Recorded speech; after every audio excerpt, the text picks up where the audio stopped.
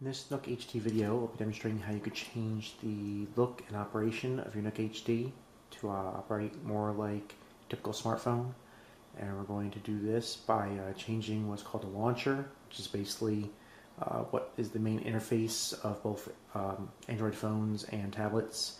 And it uh, is what controls the home screens and the icons and how these different uh, features work uh, we're basically going to do that by replacing the launcher with a program called the Nova Launcher. So if you search for Nova Launcher in the Google Play Store, see there's both free and paid versions. But if you click on the free version to try it out with and basically install it onto your tablet. And once it's installed, you basically click on and open it and then it switches the um, launcher for the tablet and provides a different interface and different look. As you can see here, this is different than the stock Nook HD. Plus you're able to customize it different and have more icons and you have a different toolbar at the bottom here. And you have a, your app drawer where you go to your different apps. Also your different widgets.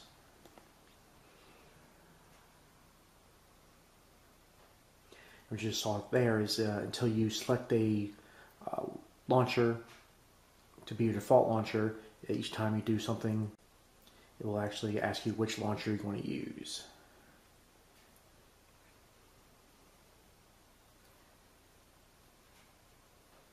Now there are many different settings in Nova Launcher you can go through. You change desktop and the scroll effect and wallpaper scrolling and, and change the drawer, which is your app drawer. Also the dock, which is the number of icons that are on the bottom.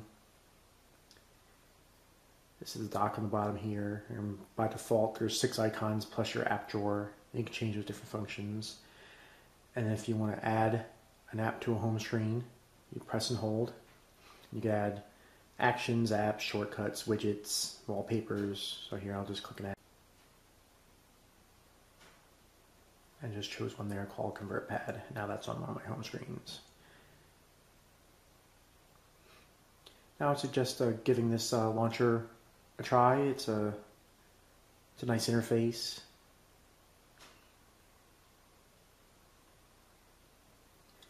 And then basically,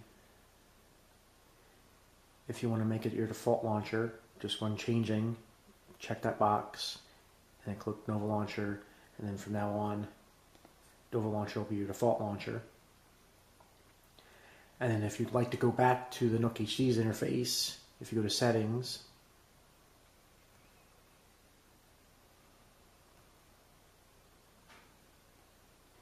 click all settings, and go to applications.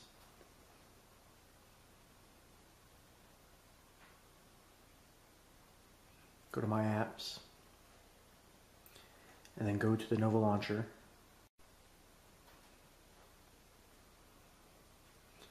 You'll see here it says a button that says clear faults. If you click clear faults, which I will do right now, then it'll again ask you which one you want to use as your launcher and you can just click home and then use by default and then it'll switch back to the HD's normal interface.